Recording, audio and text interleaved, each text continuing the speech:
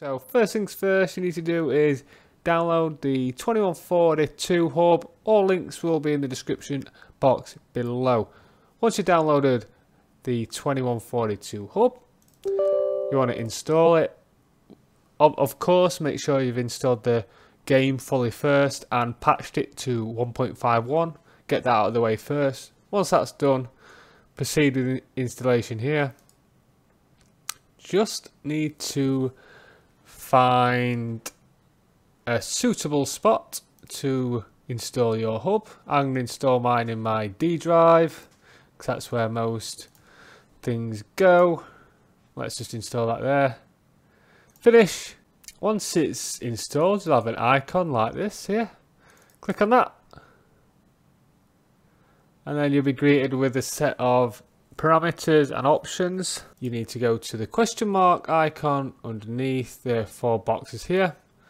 And then you just have a selection of check boxes here just to verify everything works. So first things you, first is you need to just verify the game path at the top there. So go to wherever you installed it. So mine's in Origin because that's what I used.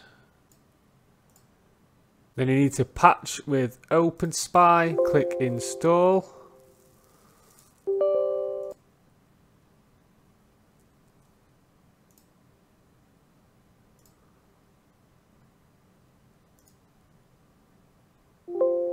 So that's now patched and everything should be ticked um, and good to go. Okay, so let's launch and see if it works.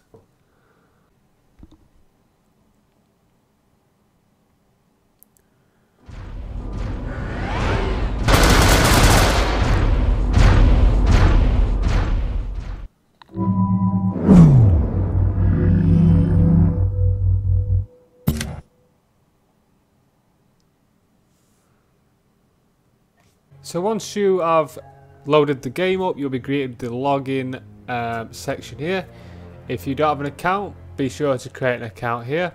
Once you've done that, you should be able to log in.